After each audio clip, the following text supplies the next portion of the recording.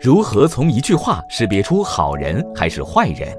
在一个幼儿园的家长群里，一位家长提议说，幼儿园老师怀孕了，大家一起集资给她送一辆婴儿车。其实重点不在送不送东西这件事，而是当这个家长提出这句话的时候，他已经立于不败之地。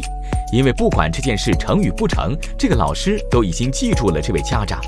假设这件事不成功，那么老师或者领导也知道了他的好意。如果这件事成功了，那么这个老师也好，领导也好，根本不会记住其他的人，只会记住第一个提出这个意见的人。不论是在职场还是其他的社交群体，一定要小心这种人。就是当他自己想向领导示好的时候，自己不愿意独立去花钱，让大家来平摊他的钱。这就是在拿大家的钱为他自己的私利来谋取好处，所以不管值不值得买，一定不要跟着别人的思想走。那么，如何来应付这种小人呢？